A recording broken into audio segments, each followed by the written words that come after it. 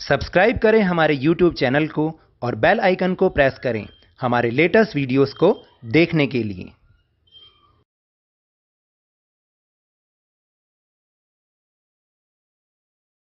Hello and welcome to Lovneesh sir की class आज की ये शिक्षा निदेशालय राष्ट्रीय राजधानी क्षेत्र दिल्ली की वर्कशीट वर्कशीट नंबर 32 जो कि कक्षा सातवीं के विद्यार्थियों के लिए है।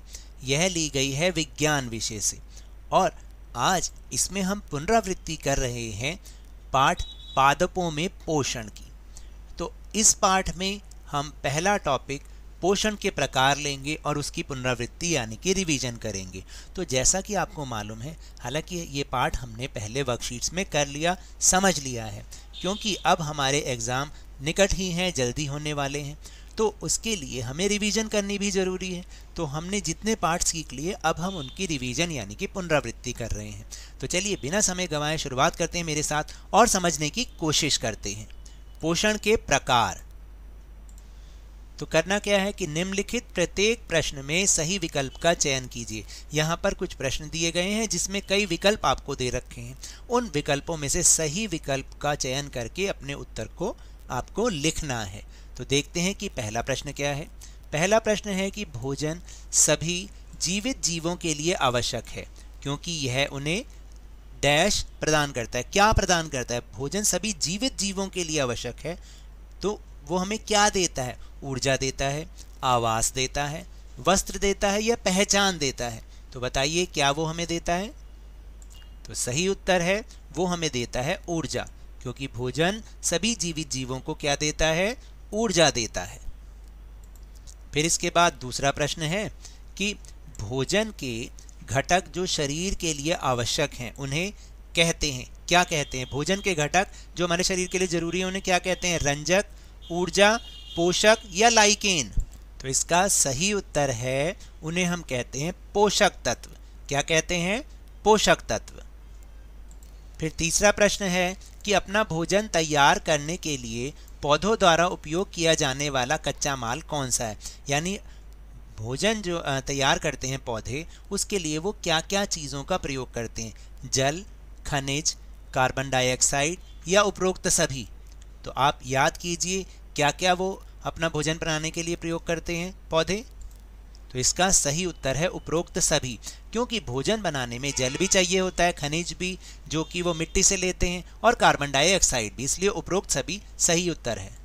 फिर चौथा प्रश्न है, मिलान कीजिए। आपको स्तंभ एक के शब्दों को सही उत्तर, जो कि स्तंभ दो में है, उनके साथ मिलान करना है। तो देखते हैं कैसे। तो देखिए, सबसे पहले लिखा है विषम पोषी विषम पोषी को किसके साथ मिलाएँगे? विषम पोषी दूसरों द्वारा तैयार भोजन लेना। जो विषम पोषी होते हैं, वो दूसरों के द्वारा तैयार किए गए भोजन को एब्जॉर्व करते हैं, अवशोषित करते हैं। फिर दूसरा है कार्बोहाइड्रेट कार्बोहाइड्रेट को किससे मिलाएँगे? ऊर्जा प्राप्ति से। कार्बोहाइड्रेट क्या है? ऊर्जा प्राप्ति भोजन है। फिर इसके बाद है स्वपोषी। नाम से समझ में आता है स्वपोषी, जो कि स्वयं अपना भोजन तैयार करते हैं। तो इसको मिलाएँगे डी के साथ, स्वयं भोजन तैयार करना। फिर इसके बाद है चौथा, पोषण। पोषण का मतलब किससे मिलाएँगे? पोषण को हम भोजन ग्रहण करने की विधि को पोषण कहते हैं, क्योंकि हर एक का पोषण का तरीका अलग होता है। पौधों में पोषण अलग तरीके से होता है, जीवों में जो जानवर हैं, जंतु हैं, उनका पोषण अलग और मानवों का पोषण अलग तरीके से होता है। तो इसलिए भोजन ग्रहण करने की विधि को पोषण कहते हैं। और विटामिन, बीमारियों से शरीर की सुरक्षा। तो विटामिन से क्या होता है? बीमारियों से शरीर की सुरक्षा होती है। विटामिन से तो इसको इसके साथ मिलाएँगे। फिर है आखिरी प्रश्न, अनुच्छेद पढ़ने के पश्चात दिए गए प्रश्न का उत्तर दीजिए। तो आपको यहाँ पर अनुच्छेद को ध्यान से पढ़ना है। कार्बोहाइड्रेट, प्रोटीन, वसा, विटामिन, तथा खनिज भोजन के घटक हैं और इन्हें पोषक कहते हैं। पोषक पदार्थ क्या करते हैं? सजीवों की शारीरिक संरचना, वृद्धि तथा क्षतिग्रस्त भागों के रख रखाव के लिए समर्थ बनाते हैं। और यह विभिन्न जैव प्रक्रमों के लिए आवश्यक ऊर्जा भी प्रदान करते हैं। यानी पोषक पदार्थ जो है, हमारी शारीरिक संरचना, उसमें वृद्धि और जो शरीर में टूट फूट हो जाती है, उसके रख रखाव के लिए हमें सक्षम बनाते हैं। और रोज़ के काम हम आराम से कर सकें, उसके लिए ऊर्जा भी प्रदान करते हैं। अब आपको कौन सा प्रश्न का उत्तर देना है कि पोषक पदार्थों के कोई दो कार्य लिखिए तो देखिए, दो कार्य कौन से हो गए? पोषक पदार्थ, सजीवों की शारीरिक संरचना, वृद्धि तथा क्षतिग्रस्त भागों के रखरखाव के लिए समर्थ बनाते हैं। और दूसरा काम हो गया, पोषक पदार्थ विभिन्न जैव प्रक्रमों के लिए आवश्यक ऊर्जा प्रदान करते हैं।